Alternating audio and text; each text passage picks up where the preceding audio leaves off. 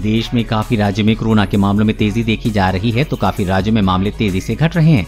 आइए जानते हैं आज 19 अक्टूबर 2021 को आपके राज्य में पिछले 24 घंटे में कितने केस मिले। नंबर एक गुजरात में पिछले 24 घंटे में 18 नए मामले मौतें, कोई भी नहीं, बत्तीस रिकवरी दर्ज की गई, सक्रिय मामले एक हैं।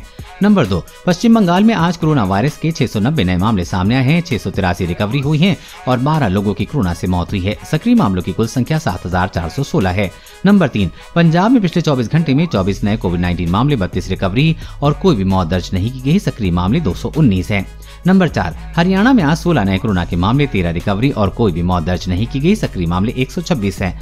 नंबर पाँच, तेलंगाना में पिछले 24 घंटे में कोरोना वायरस के 208 नए मामले आए हैं 201 रिकवरी हुई हैं और दो लोगों की कोरोना से मौत हुई है। सक्रिय मामले तीन हैं।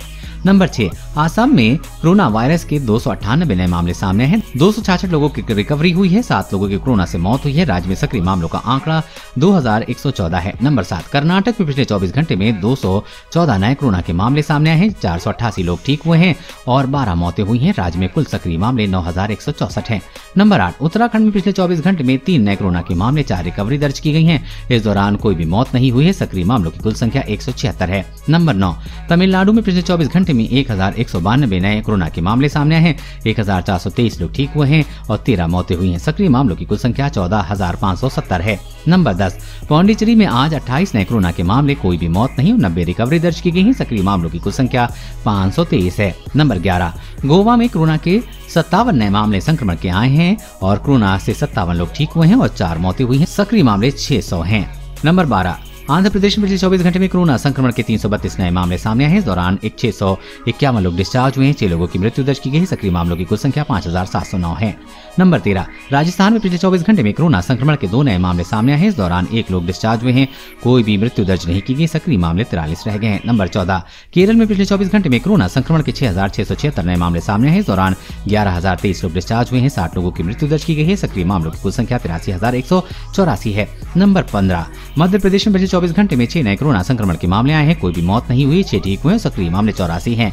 नंबर 16 झारखंड में कोरोना संक्रमण के नौ कोरोना मामले सामने आए हैं। नौ लोग कोरोना से ठीक हुए हैं और कोरोना से कोई भी मौत नहीं हुई, सक्रिय मामले 130 हैं। नंबर 17 हिमाचल प्रदेश में पिछले 24 घंटों में एक सौ सड़सठ नए कोविड 19 मामले, एक सौ पंचानबे रिकवरी दर्ज की गई है और कोरोना से पाँच मौतें हुई, सक्रिय मामले एक हैं। नंबर अठारह, मणिपुर में पिछले चौबीस घंटे में कोरोना के सड़सठ नए मामले सामने आए इस दौरान एक सौ छह लोग डिस्चार्ज हुए हैं और कोई भी मृत्यु दर्ज नहीं की गई, सक्रिय मामले एक हज़ार तीन सौ बयासी है। नंबर उन्नीस, बिहार में पिछले चौबीस घंटे में दो नए कोरोना संक्रमण के मामले सामने आए हैं और छह लोग कोरोना से ठीक हुए हैं। इस दौरान कोई भी मृत्यु दर्ज नहीं की गई, सक्रिय मामले तिरालीस है। नंबर 20 उड़ीसा में पिछले 24 घंटे में कोरोना संक्रमण के 340 नए मामले सामने आए हैं। इस दौरान 530 लोग डिस्चार्ज हुए हैं और पाँच लोगों की मृत्यु दर्ज की गई सक्रिय मामले चार हज़ार दो सौ चौरानबे हैं। नंबर इक्कीस, त्रिपुरा में पिछले 24 घंटे में कोरोना संक्रमण के सोलह नए मामले सामने आए हैं। इस दौरान बारह लोग डिस्चार्ज हुए हैं और कोई भी मृत्यु दर्ज नहीं की गई। सक्रिय मामले एक हैं। नंबर 22 महाराष्ट्र में पिछले 24 घंटे में एक हज़ार चार सौ पचासी नए कोरोना संक्रमण के मामले आए हैं।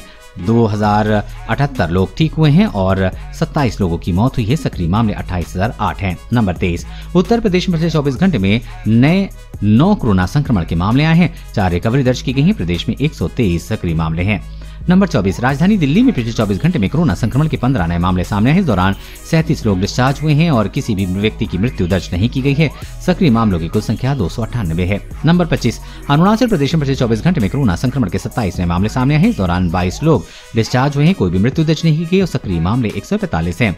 नंबर छब्बीस, छत्तीसगढ़ में पिछले चौबीस घंटे में कोरोना संक्रमण के सत्ताईस नए मामले सामने आए हैं। इस दौरान इक्कीस लोग डिस्चार्ज हुए हैं, कोई भी मृत्यु दर्ज नहीं की गई। सक्रिय मामले एक सौ नवासी है। नंबर सत्ताईस, जम्मू कश्मीर में आज पचहत्तर नए कोरोना के मामले, सौ रिकवरी और दो मौतें दर्ज की गई हैं। केंद्र शासित प्रदेश में सक्रिय मामलों की कुल संख्या 816 है। नंबर 28 मेघालय में कोरोना संक्रमण के इकसठ नए मामले सामने हैं। इस दौरान 126 लोग डिस्चार्ज हुए हैं और तीन लोगों की मृत्यु दर्ज की गई है। सक्रिय मामले सात हैं। नंबर उनतीस, मिजोरम में कोरोना संक्रमण के दो सौ उनचास नए मामले सामने हैं। इस दौरान आठ सौ बासठ लोग डिस्चार्ज हुए हैं और पाँच लोगों की मृत्यु दर्ज की गई सक्रिय मामले दस हज़ार सात सौ हैं। तो ये थे आपके राज्यों के 24 घंटे की कोरोना केस रिपोर्ट। इसके अलावा भी किसी और राज्य की आपको कोरोना अपडेट चाहिए तो आप कमेंट में बता सकते हैं।